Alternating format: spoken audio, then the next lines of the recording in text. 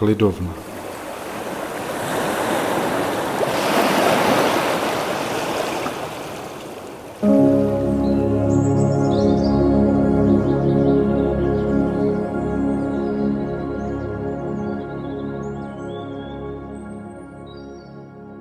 Dumky spoustavné.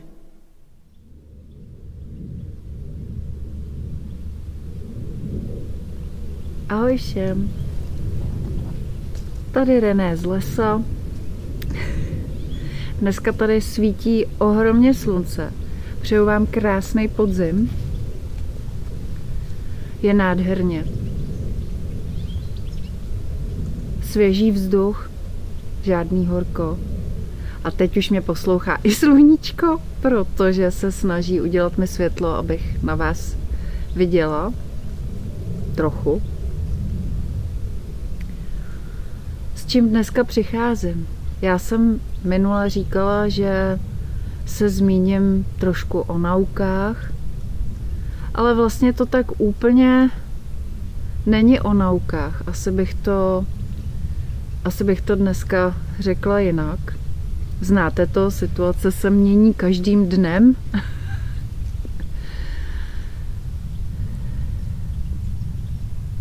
Nicméně řeknu něco o, celkově o tom, proč jsem chtěla mluvit o těch naukách.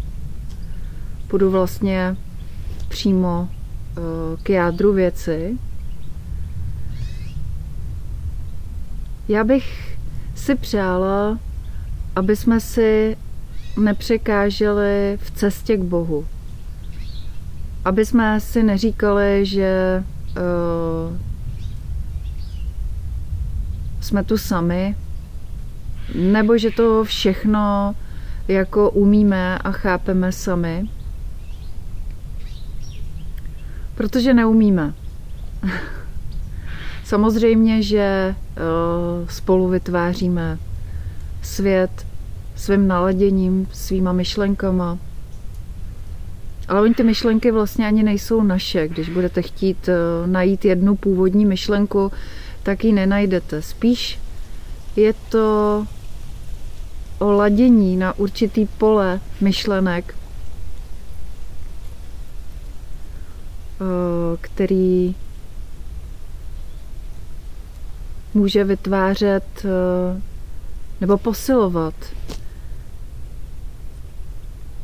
něco hezkého. A vlastně eh, my jako lidi se eh, můžeme cítit dobře, i když eh, to třeba pro ostatní dobře nevypadá. A můžeme to měnit, to můžeme. Když třeba mm, zažijeme něco ošklivého nebo, nebo se stane něco nepříjemného, nebo je nějaká taková jako, jako hrbolek, který vybereme, tak eh, my to, my to můžeme eh, měnit tím, že to přijmeme a nastavíme se rovnou na to dobrý. Protože ve skutečnosti ono je to dobrý. My tady jsme, Nevíme proč. Máme spoustu, spoustu teorií, proč tady jsme, co tady děláme a tak. Ale v reálu, když jste někde sami a jste potichu a třeba o ničem nepřemýšlíte, jenom tak jste, tak zjistíte, že eh, všechny ty teorie, informace, metody, nálezy, aha momenty jsou prostě jenom součástí toho toku a vy sami prostě tady jste, máte všechno, co potřebujete, anebo nemáte, si myslíte, ale máte, protože i můžete říct, já něco nemám, přeju si to a můžete to zkusit odevzdat. A uvidíte, co se stane. Protože tady nic není náhodou, jak jsme si říkali, a vy tady taky nejste náhodou. Ty vaše cesty nejsou žádná náhoda a lidi, který potkáváme, který nás třeba štvou, nebo nás milujou, nebo nám ubližujou. Všechno je to součástí toho, co je zatím. My jako máme tu pozornost věnovat tomu, co jako prožíváme, ale zatím je něco, um, kvůli čemu to jako je. Kvůli čemu to probíhá. Tady jsou nádherný mraky. Nevím, možná, že jsou od chemtrails, ale sluší jim to, vypadají hezky. Já jsem chtěla dneska říct, abyste si pomáhali, abyste si pomáhali navzájem. A abyste se chápali.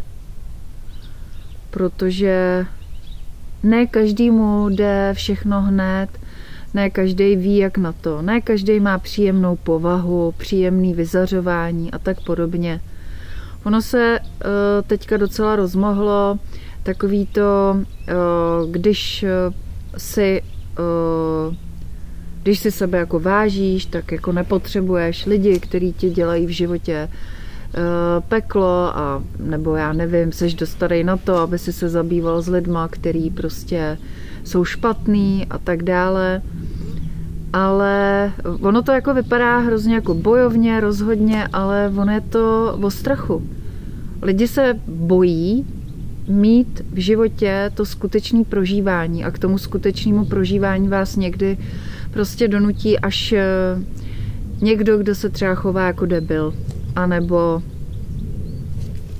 anebo někdo, eh, kdo na vás něčím zaútočí, ať už eh, ať už přes city, anebo, teda vždycky je to přes city, ale myslím tím, ať už je to jako hezký, anebo ať už je to srdce rvoucí, ty lidi vás usazují do těch okamžiků, po kterých teda každý touží, to tady a teď. Když eh,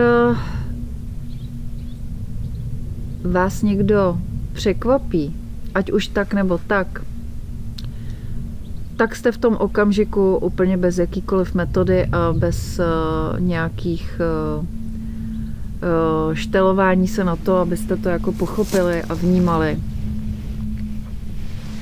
No.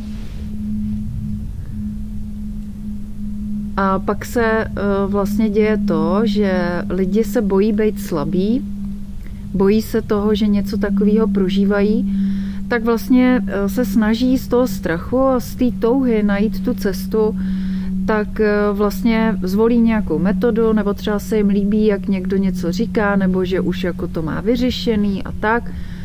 No a oni se vlastně napojí přímo na toho člověka a uh, prostě se usmívají od rána do večera, jakože jim to jde, jakože všechno jde, že všechno je prostě perfektní a tak.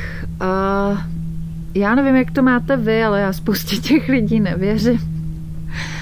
Proto třeba ani moc ne, jakoby nejezdím na nějaký jako festivaly nebo setkání, protože uh, za prvý je to momentální událost, kdy kdyby se to připustilo, bylo by to fajn, ale já prostě uh, mám uh, potíž být v prostředí, kde kde jako musíte za něco být, to znamená, musíte být nějak vyladěný, nebo tohle už máte mít zpracovaný, nebo vy víte přece, jak to je, takže Eh, tohle už vůbec jako neřešíte a tak. A nějak tam mizí takový ten jako lidský rozměr, jo? že vlastně to naše prožívání je veliký dar. Já neříkám, že uh, musíte jako uh, běhat životem um, jako nějaký bláznivý hysterik, ale uh, já se prostě o to prožívání nechci nikdy připravit, protože za prvý to ani nejde, když je to skutečná jako výzva nebo skutečná věc, která se vás týká, tak ji prostě prožijete. A líbí se mi, že to můžete prožít, aniž byste si to museli tahat dál a hroutit se z toho. Prostě to prožijete a nestydíte se za to a nemáte z toho pocit, že nezvládáte. A další důvod, proč se o to nechci připravit, je ten, že ten cit, nejenom nějaký pocit, který se mění, ale ten cit, ten vnitřní cit, to určitě každý z vás zná, že od malička se nějak někde cítíte, jakože to je ten váš prostor, to jste vy. Tenhle cit vás uh, dovede k tomu spojení s Bohem, stvořitelem. Protože stvořitel existuje.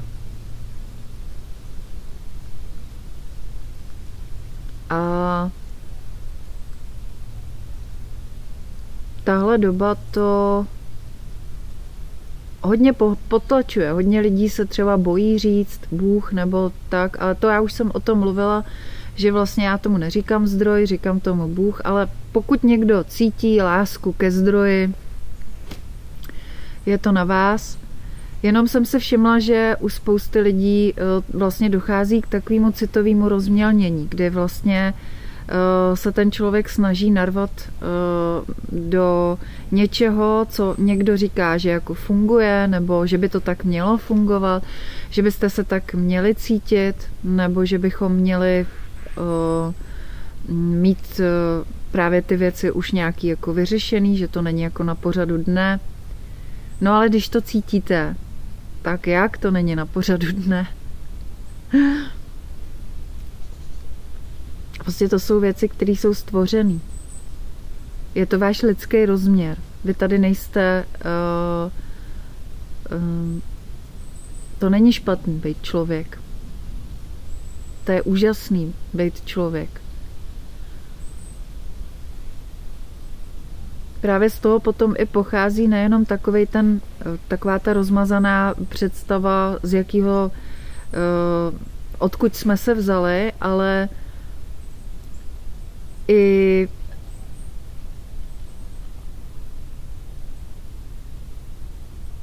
takový zvláštní jako uh, napnelismus, takový jako vnitřní napětí, že já musím být něco víc, já musím eh, získat nějaký, já nevím, zvláštní schopnosti nebo eh, zvláštní potvrzení toho, že být člověk je dobrý, protože jsme zničili přírodu a udělali jsme to a ono.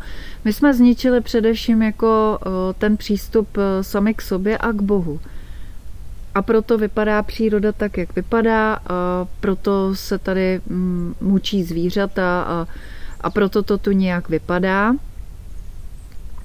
Ale to všechno, e, to všechno e, můžete přijmout, odevzdat a tím to změnit. Že vy provedete takovou e, v podstatě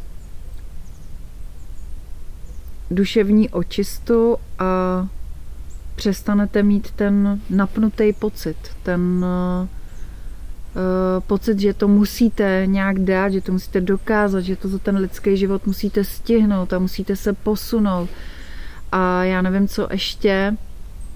A přitom, uh, přitom to máte v sobě. Přitom to máte pořád u sebe. Takže to míjení je takový jako zvláštní, takový zajímavý.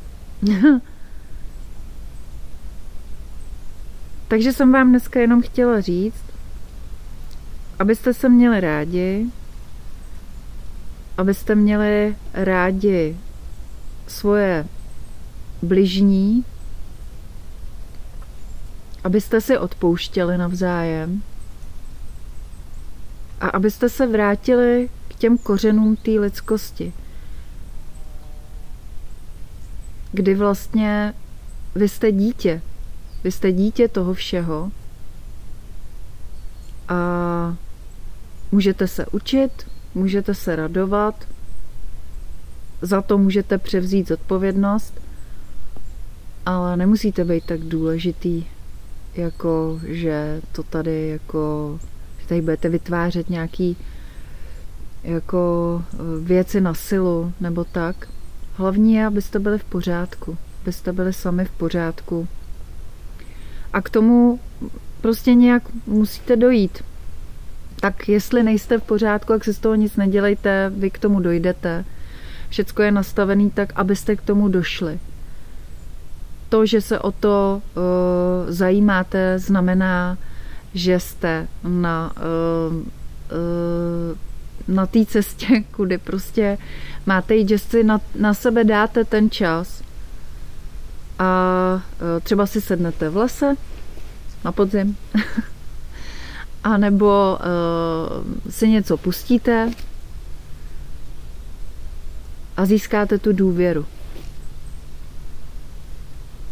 Věřte Bohu. Věřte mu, že všechno je tak, jak má být. Já jsem měla babičku. Moje babička byla úžasná žena, která měla velice samozřejmě pohnutý život. se narodila 1913, tak je jasný, že měla pohnutý život a byla chudá. A ještě si to zkomplikovala, protože mm, prostě byla originální. Takže měla spoustu dětí na krku, podnikala, neuměla číst a psát. Byla, byla analfabet a přitom přežila, všechny děti prostě odchovala, podnikala, dělala záclony. A tahle moje babička, která se třeba přes eh, svůj život kolikrát jako setkala s tím, že jí opustil muž, nebo že měla tak, eh, takový stek, že třeba házela po dětech sekerou. Ty věděli, že musí uhnout. Tak tahle ta moje babička se ke konci svého života prostě stala tak úžasným člověkem, tak naprosto úžasným člověkem. A ta vždycky říkala, všechno je tak, jak má být. Ale ona, když to řekla, to nebyla žádná poučka. Prostě to byla pravda. Takže jsem vám dneska jenom chtěla říct, že všechno je tak, jak má být. A že Bůh, Bůh ve vás, u vás, všude se o to stará a jenom chce, abyste se odevzdali. A abyste se mu nevyhýbali. A o tom se ještě někdy něco povíme. Tak se mějte krásně. Užijte si nádherný podzim. Když vám něco bude, tak hold vám něco bude. Držím vám pěsti. A mějte se. Ahoj.